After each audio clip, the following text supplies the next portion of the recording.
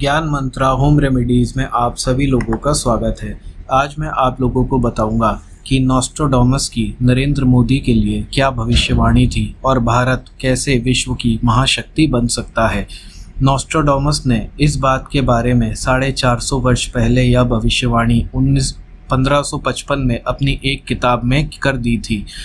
French भाषा में लिखे अपने इस ग्रंथ में नॉस्ट्रोडोमस ने साफ़ लिखा है कि एक व्यक्ति भारत में आएगा जो भारत की काया पलट कर देगा। उसका नाम नरेंद्र होगा, जो कि आज के संदर्भ में देखा जा सकता है कि भारत के प्रधानमंत्री श्री नरेंद्र मोदी जी हैं। जानकार मानते हैं कि मोदी के बारे में नॉस्ट्रोडोमस ने भविष्यवाणी की है। नॉस्ट्रोडोमस की भविष्यवाणी के जानकारों का कहना है कि मोदी के शासन में भारत विश्व की महाशक्ति बनेगा। भारत का काया पलट हो जाएगा। और दुश्मन राष्ट्रों का वजूद मिट जाएगा। नॉस्ट्रोडोमस ने स्पष्ट रूप में लिखा है कि एशिया में 21वीं सदी में एक महान नेता जन्म लेगा।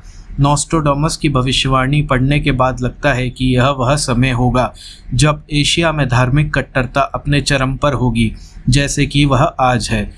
माना जाता है कि इस नेता से पहले सभी प्यार करेंगे, लेकिन बाद में उससे सभी डरेंगे भी। वह दुनिया को अपनी मुट्ठी में बंद कर लेगा। उसकी शक्ति के आगे सभी राष्ट्रों को झुकना पड़ेगा। शीघ्र ही पूरी दुनिया का मुखिया बन जाएगा और धीरे धीरे उससे सभी लोग प्यार करने लगेंगे। मगर कहीं ना कहीं वह लोग भयभीत भी होकर रहेंगे। उसकी ख्याति आसमान चूमेगी और वह विजेता के रूप में सम्मान पाएगा। एशिया में वह होगा जो यूरोप में नहीं हो सकता। वह शांतिदूत बन के सभी राष्ट्रों पर हावी होगा। कुछ लोग भविष्यवाणी के अनुसार मानते हैं कि भारत के वर्तमान प्रधानमंत्री नरेंद्र मोदी वही व्यक्ति हैं, जिसके बारे में नॉस्ट्रोडोमस ने भविष्यवाणी करी है, क्योंकि वे भी एक गरीब परिवार में जन्मे हैं और उन्हें भी अपना प्रारंभिक जीवन संत की तरह बिताया है और उन्हें भी पहले लोग नफरत करते थे, फिर प्यार करने लगे और हो सकता है कि बाद में उनसे डरने भी लगे। मगर वह एक शांति दूत शांति दूत के रूप में उभरेंगे, जो कि पूरी दुनिया पर राज करेंगे। वह समुद्र से सटे किसी प्रांत में, छोटी जाति में जन्म लेगा, यह नॉस्ट्रोडोमस कह रहे हैं। लेकिन सभी जाति के लोग उसके नाम पर एकजुट हो जाएँगे। जिस समय उसकी लोकप्रियता होगी, उस समय किसी गौरी चमड़ी वाली औरत का शासन होगा।